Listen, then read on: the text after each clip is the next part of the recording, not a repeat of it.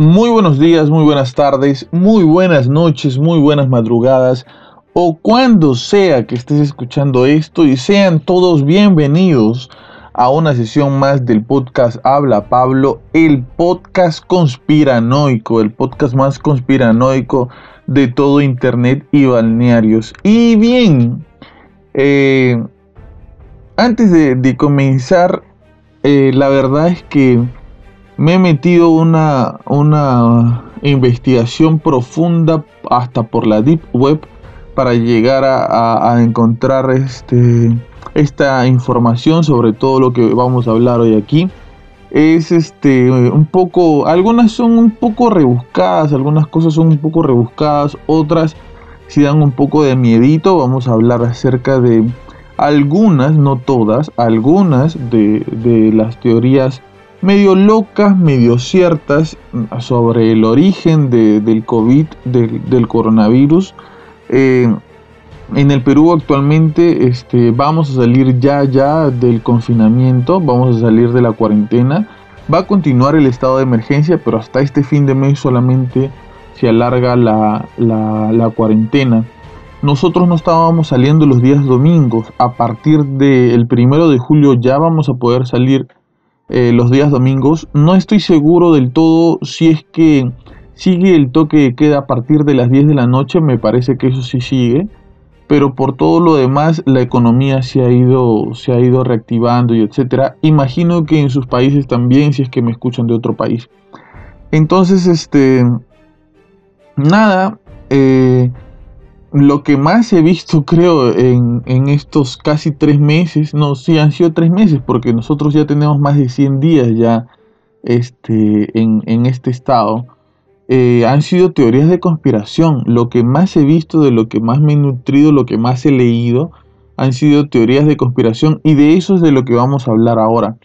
Quizás se nos quede un poco corto, quizás hayan algunas otras cosas más eh, algunas teorías más locas de las cuales podamos hablar, pero eh, lo voy a hacer en el siguiente podcast ya con, algún amigo, no voy a, invitar a, alguno por ahí, ya que ya podemos este, tener algo, algo, un poquito más de relación con, otros seres humanos, que, la verdad ha sido bien difícil. Este, yo vivo en un barrio donde mis amigos están muy cerca a mi casa y e ir a sus casas era como ir a la casa de tu tía, ¿no? Y te metías y entrabas y saludabas a la mamá y todos súper amables, súper, cariñosos, ¿no? Entonces ha sido difícil por ese lado alejarnos un poco como, como amigos, eh, vernos en la calle, saludarnos de lejos y no poder acercarnos, conversar un rato, no juntarnos para tomar algo, ¿no? Para conversar acerca de las cosas que nos pasan, las cosas nuevas que que han venido sucediendo a lo largo de nuestra vida para nosotros. El hijo de un amigo se puso mal este, y me lo contó este, por, por WhatsApp nada más. Entonces, junto con eso otras cosas más, ¿no? El abuelito de otro falleció, otro se contagió de, del COVID. Entonces, eh, un, poco, un poco difícil, ¿no? Un poco difícil el acercamiento con todos ellos, pero bueno, eh, si es que se nos queda corto este tema de de las teorías acerca del origen del COVID. Prometo que el próximo traeré a alguien para poder conversar junto con él aquí en el, en el podcast. Este, y si no, traeré a alguien para conversar de cualquier cosa, la verdad. De verdad extraño mucho mis patas, extraño mucho a la gente que venía aquí a compartir con nosotros en el podcast. Y e imagino que tú, desde donde me escuchas, también debes estar igual, ¿no? Nosotros utilizamos la plataforma del podcast un poco para, para desahogar un poco alguna frustración, para compartir con ustedes alguna pena, alguna situación eh, triste, pero también las alegres. Acá nos vamos, nos acompañamos ambos. Ustedes a mí y yo a ustedes. Entonces de una vez vamos a entrar en materia, vamos a hablar detalladamente de este tipo de cosas. Yo he encontrado eh, algunas que me han parecido interesantes, una que me pareció medio loca y una que me voló la cabeza totalmente porque hay muchas pruebas. Pero vamos a comenzar. La primera, que la primera este, teoría sobre el origen del, del COVID y cómo se propagó a nivel mundial, dice que fueron militares norteamericanos que fueron hasta, hasta la misma China. Al parecer, los militares tienen eh, para sus internas eh, algo así como unas olimpiadas, ¿ya? Que también hacen eh, con militares de otros países. y así como las olimpiadas tú viajas, ¿no es cierto?, a otro país y vas y compites y no sé qué un mes o dos meses antes de, que, de la propagación del, del COVID-19, estas Olimpiadas estaban eh, dando a cabo y habían eh, algunos, algunos este, eh, militares de Estados Unidos que habían viajado a China por este tema y al parecer algunos de ellos habían estado contagiados de lo que en ese momento diagnosticaron como neumonía hay que acordarnos que la neumonía, eh, según sus características, es bastante parecida al COVID, ¿no? Entonces, eh, curioso resulta, ¿no? Curioso resulta. Este, ¿será esto acaso un plan macabro proveniente de las fauces y de las garras del medio pelado de, Donald Trump? Puede che, puede che. Eh, en estas alturas del partido, de verdad, después de, todo lo que ha venido pasando en este 2020 loquísimo, este puede ser, ¿no? no sé si han visto ese meme que dice 2020 puedes intentar dejar de matarnos durante 5 minutos al menos. Creo que algo así estamos, algo así estamos. Vamos a, a fin de año vamos a tener un super podcast con todo lo que pasó en, en este año, ¿no? Entonces, eh, la primera teoría que me pareció interesante fue esa. Yo creo que, que tiene su, su, validez, tiene su asidero, tiene es interesante para escuchar al menos que haya habido un grupo de, militares estadounidenses, porque ni siquiera, esta teoría ni siquiera dice que fue el FBI o la CIA o, alguna de estas, de estas este, siglas que, que a veces tiene Estados Unidos tan, tan caleta que todo el mundo sabe lo que hacen, que nos espían y que no sé qué, pero que, nadie hace nada en contra de eso porque son súper poderosos, ¿no? Como, como las chicas superpoderosas. Pero, no sé, yo, yo creo que, podría ser, podría ser. Otra de ellas que me parece muy, muy, muy, muy interesante es que eh, esta, esta pandemia, este virus, es eh, un invento de los medios de comunicación. Suena loquísimo, pero acá, acá los detalles, ¿no? No sé si se han dado, no, no creo que se hayan dado cuenta. Eh, en realidad hay informes, hay documentales, hay videos sobre esto, pero al parecer existen personas que son actores contratados para aparecer en ciertas catástrofes mundiales. ¿Cómo es esto, por ejemplo? Este Juan Pérez es actor, ¿sí? Y de repente se reporta que en España, en Barcelona precisamente, hubo un atentado terrorista. Llegan los medios de comunicación a cubrir el atentado y este, entrevistan a una persona malherida. Esta persona se llama Luisito. Ay, Luisito, ¿qué tal? ¿Cómo estás? ¿Qué te pasó? Sí, que explotó. Fueron los los los este, extraterrestres. Fueron los los este, terroristas de ISIS, por ejemplo. Yo los vi. Tenían su polo que decía ISIS. Pintaron en la pared. ISIS estuvo aquí y yo los vi y sí, fueron ellos y que no sé qué, bueno, y tú como estabas muy mal y me, hicieron una herida en la cabeza y no sé qué. Y se, queda, ¿no? Este, esta entrevista, este reportaje, esta persona se queda ya plasmada en la mente de las personas, teniendo a ISIS como el, el mayor enemigo. No es que esté defendiendo a ISIS, ojo, solamente estoy poniendo un ejemplo este, como el mayor enemigo de todos y súper malo y súper terroristas y súper asesinos. Eh, de repente sucede un hecho interesante en Rusia, por ejemplo, vamos a poner en esto. en Rusia este, un avión con un montón de personas se choca a raíz de que Estados Unidos le, le, dispara un misil. Entonces van a, entrevistar a la gente, etc. Eh, y entrevistan a una persona que se llama Pedrito, por ejemplo. Y Pedrito, ¿qué tal? ¿Qué nos puede decir al respecto? Y Pedrito te dice, bueno, fueron los estadounidenses, sí, porque este, yo vi que su avión decía EEU, ¿no? Este, y vi que lo estaba piloteando un gringo, sí, ellos fueron, ellos, ellos nos, nos lanzaron la bomba y son muy malos y se reían mientras lo hacían, etc. ¿Qué pasa con todo esto? Que se ha descubierto información mediante los videos y las entrevistas que se han hecho, que a veces eh, estos entrevistados, como el que te mencionaba Luisito, Pedrito, son la misma persona, que al parecer son actores contratados para dar su manifestación en este tipo de catástrofes. Y no solamente ha ocurrido dos veces, ha ocurrido muchas veces, y no solamente con una persona, han ocurrido con muchas personas.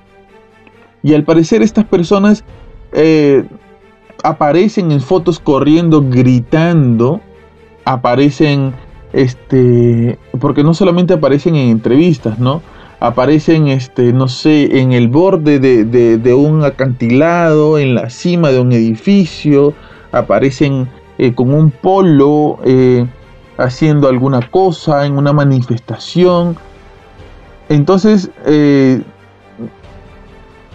al parecer este tipo de, personas son actores que se les contrata para hacer este tipo de, espectáculos, para que fomenten el terror, para que fomenten el miedo, para que incrementen la noticia, para que incrementen la, la, eh, la situación que en realidad no es tan grave, pero se le incrementa y se le infla mediante este tipo de reportajes, mediante este tipo de entrevistas, de manifestaciones y de fotos.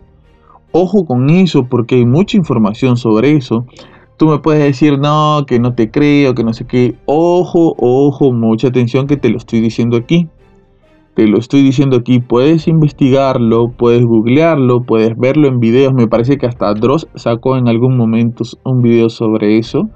Entonces, documentación hay sobre este tema. Hay documentación sobre este tema. Así que ojo, no te, no te dejes guiar por todo lo que te dicen los medios de comunicación. Hace poco nada más hay gente que está grabando videos en los hospitales donde los medios de comunicación dicen que están repletos, que la gente está muriendo, que están, este, los cuerpos están tirados en, el piso, no hay más camas, no hay cama para tanta gente, este, todos los muertos están en bolsas, no hay dónde ponerlos, y hay gente que, por ejemplo, fue a atender a su hijita que se puso mal y el hospital estaba vacío. En el hospital no había gente. En el hospital no había ni un solo paciente atendiéndose. Y no había el caos, y no había este, las ambulancias, y no había la gente muriéndose. Y esto tampoco pasó solo una vez. Hay muchos videos sobre eso. Sobre la gente que va temerosa a estos hospitales, pero pensando que lo, más importante es la salud de su hijo, de su papá, de su mamá y, que, lo que fuese, van y se dan cuenta que los hospitales están vacíos. Y entonces ellos graban y dicen, hombre, yo acabo de ver en la mañana en las noticias que este hospital está que se cae a pedazos y que ya no, ya no pueden atender a nadie más.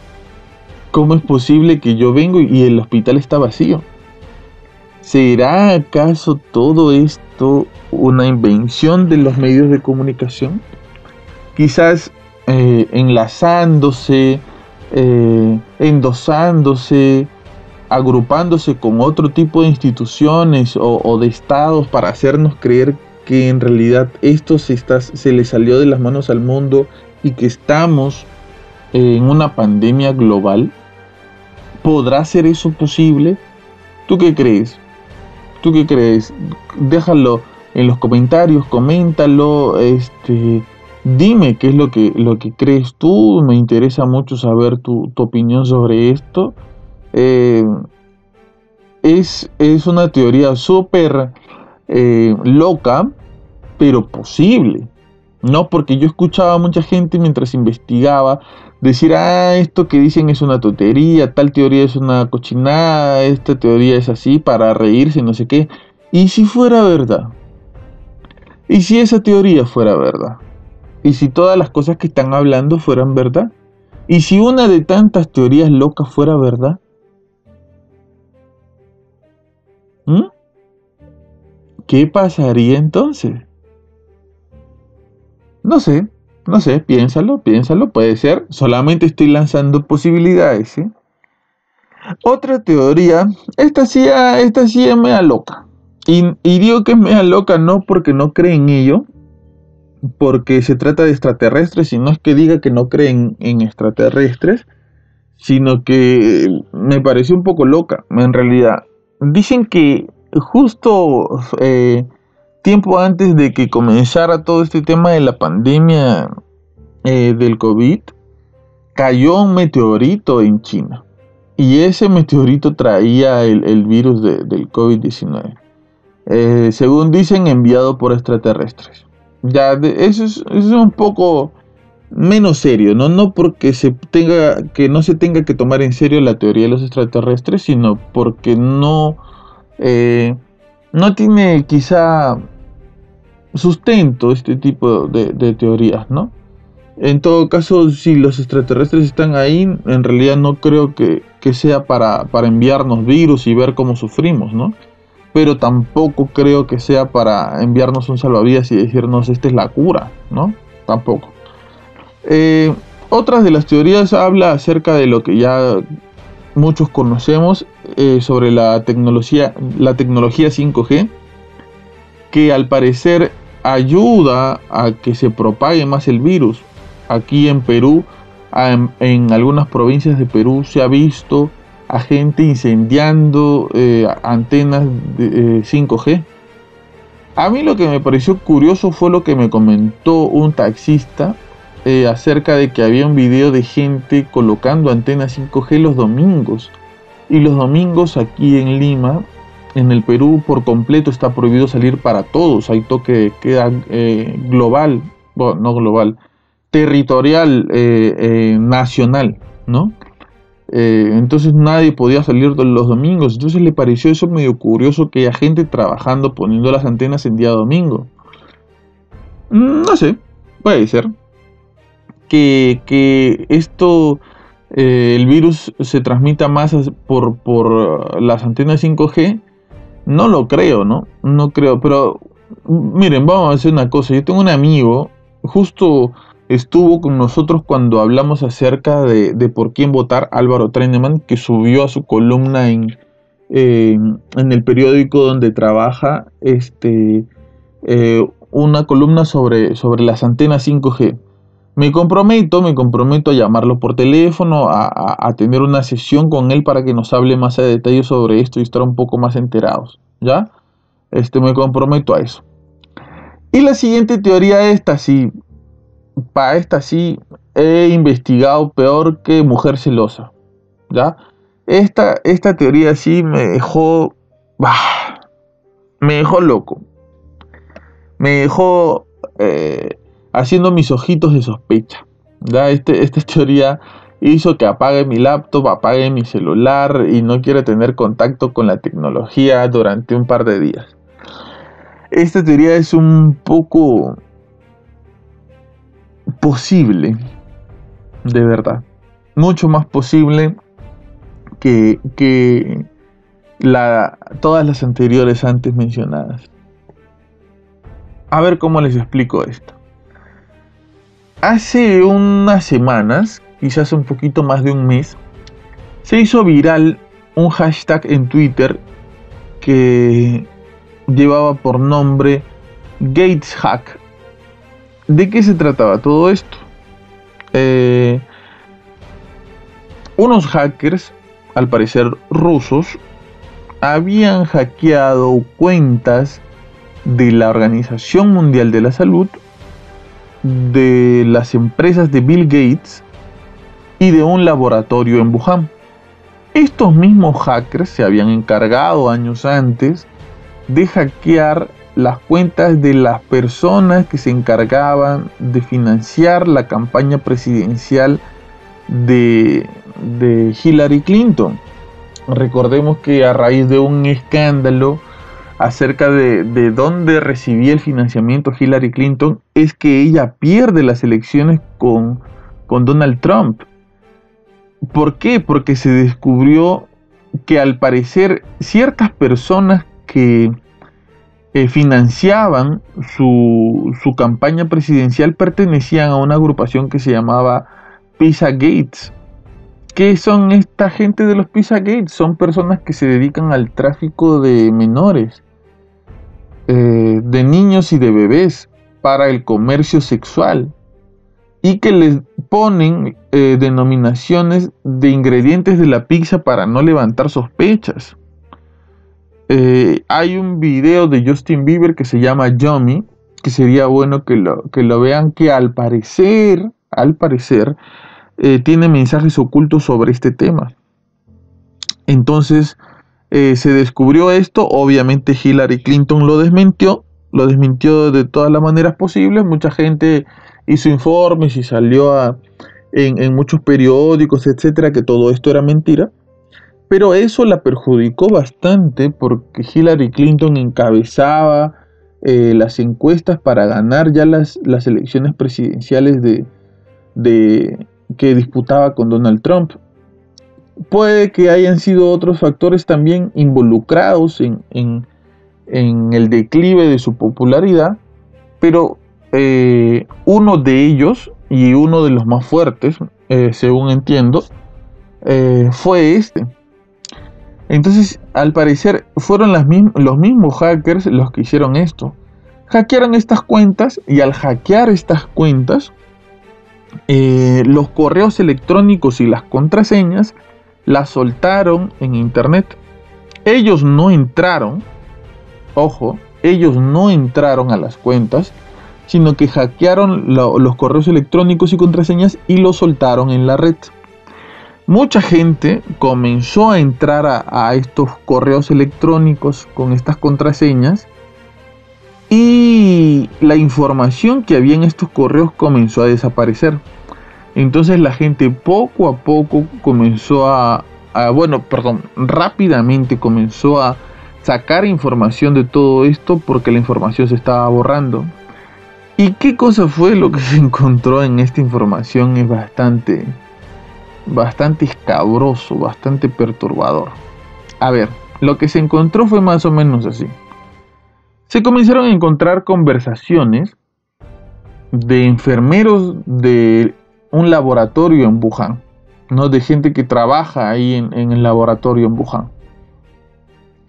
Y entre ellos comenzaban a hablar acerca del COVID, que en ese momento este, supuestamente recién estaba comenzando a expandirse, ¿no? Ellos hablaban y se decían entre ellos que tuvieran cuidado, que se mantengan, este, eh, que no, no toquen tal o cual cosa, porque al parecer el virus era bastante contagioso, este, que todavía no se iba a decir a, a, la, a la luz pública, no iba a salir este, este, el, contenido de lo que estaba sucediendo, que se protejan, que ya estaba muriendo gente que trabajaba en el laboratorio y etcétera, ¿no?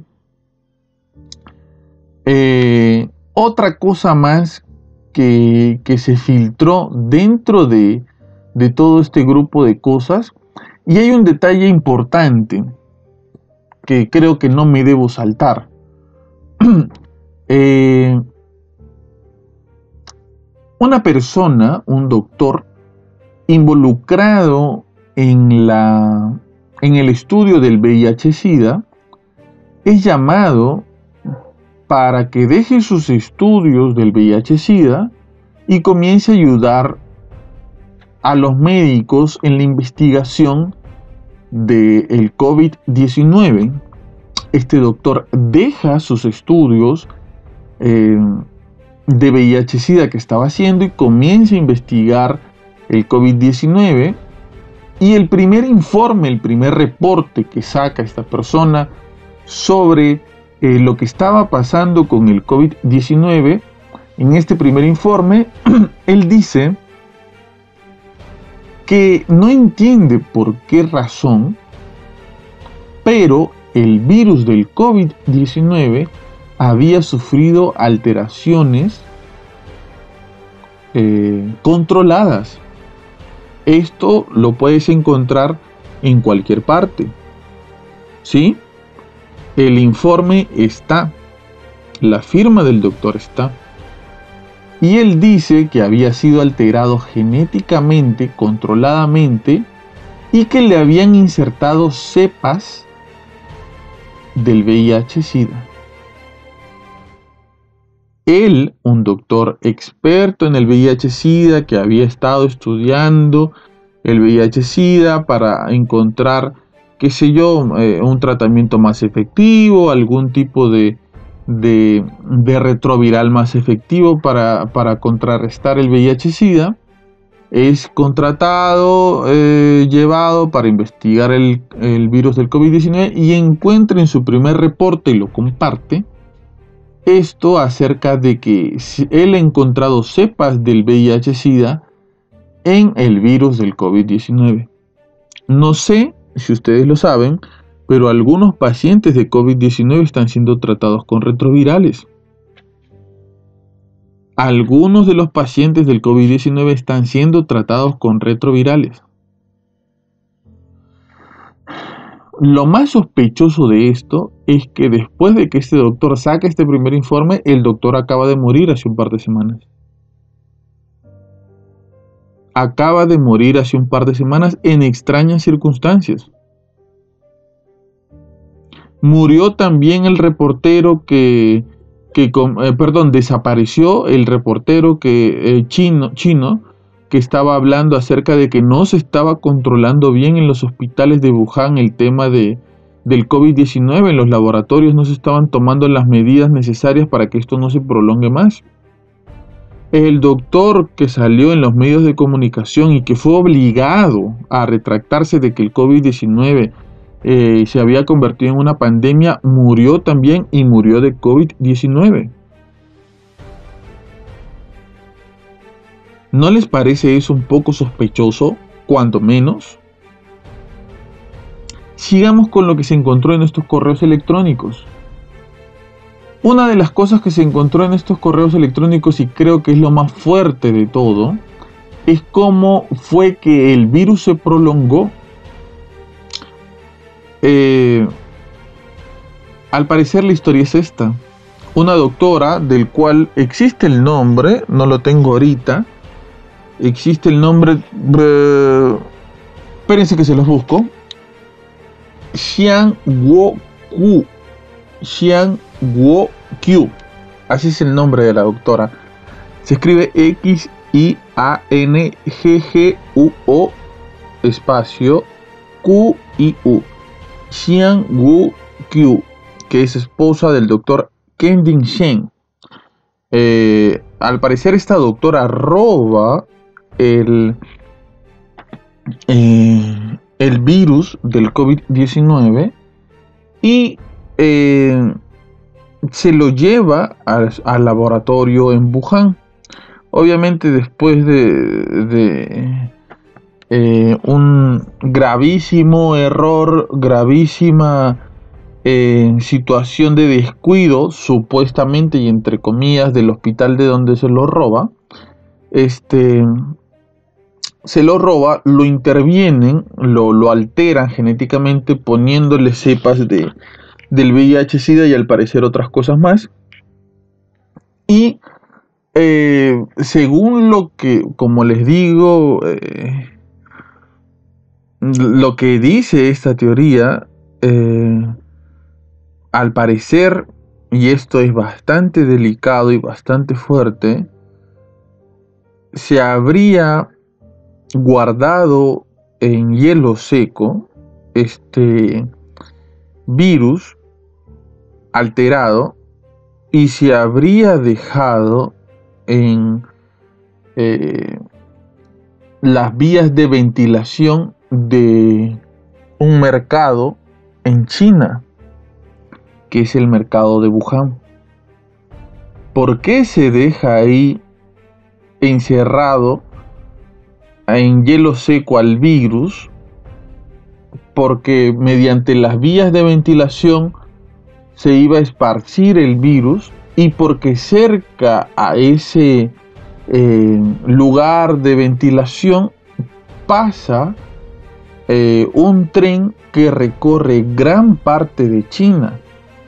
Entonces, si se infectaba a alguien del tren, iba a ser mucho más fácil que contagie a la gente que está a los alrededores y en todo China. O sea, era el foco infeccioso eh, eh, por excelencia y e iba a resultar siendo eh, un foco infeccioso que se podía trasladar, que podía ir de un lugar a otro. Esto es súper delicado. Esto es... Eh, o sea, creer que esta teoría exista es darnos cuenta que vivimos en un mundo de porquería, ¿no? Porque al parecer, que aún no sale, pero al parecer existe el video de la doctora haciendo esta acción y subiéndose en una van. Porque una de las cosas que se dice dentro de estos correos electrónicos es que cámaras de seguridad grabaron a la doctora haciendo esto. Dejando eh, el hielo seco en los viaductos de ventilación y subiéndose a una van. No se sabe si el material existe, si va a aparecer, si ya lo borraron, si lo eliminaron o no sé qué. Yo te comparto lo que hasta ahora se sabe. Yo te comparto lo que yo he podido investigar. Hace poco nada más, puedes googlearlo también, el virólogo premio Nobel en medicina Luc Monteguier eh, acaba de decir que el virus es una... Eh, alteración genética, que no es un virus natural, que ha sido alterado genéticamente en un laboratorio. Donald Trump le quita hace, unos, hace un mes, un mes y medio ya, el financiamiento a la Organización Mundial de la Salud porque dice que ellos junto con China pudieron haber controlado mucho antes esta situación, pero no lo hicieron pero no avisaron, pero no dijeron qué era lo que pasaba, se demoraron en decirlo. Y hay una pieza clave y quizás la pieza más importante de este rompecabezas, pero antes de decírtelo, ya me diste seguir en Facebook, ya me diste seguir en Instagram.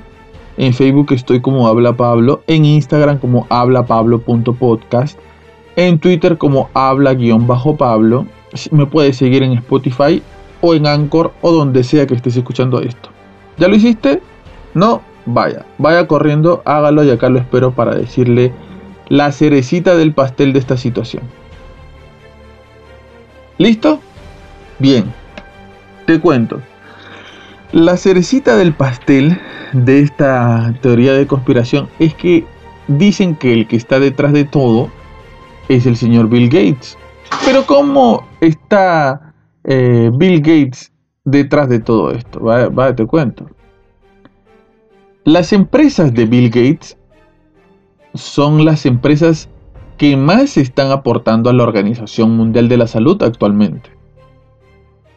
Y cuando Estados Unidos le quita el financiamiento a la Organización Mundial de la Salud, son las empresas de Bill Gates las que han comenzado a dar mucho más dinero para supuestamente la investigación de la cura para este virus.